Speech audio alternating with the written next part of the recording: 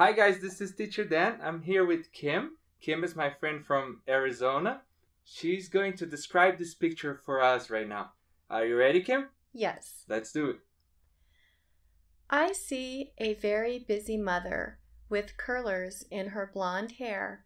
She is wearing a white shirt with orange polka dots.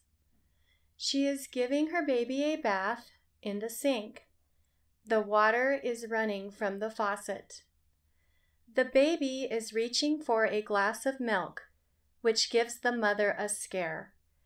A book is open on the island counter, maybe a cookbook. There are eggs and two yellow bell peppers on the island counter. This mother appears to have six active and busy children. Two of her daughters are sitting on the kitchen counter. The daughter on the right is wearing a green striped shirt. The daughter on the left has a colander on her head, and a glass of milk is next to her on the counter. One of her daughters is touching a white dog. The dog is wearing a necklace, bracelet, and a flower on its head. There are three plants in pots on the top shelf on the wall and two plants in pots on the bottom shelf of the island.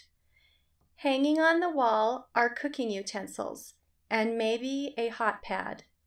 There are three storage containers of dry food on the lower shelf of the island, as well as a few books on another lower shelf.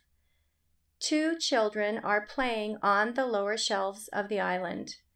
One child is holding a baguette of bread. That's what I see. Have you seen anything else? Tell us in the description section below.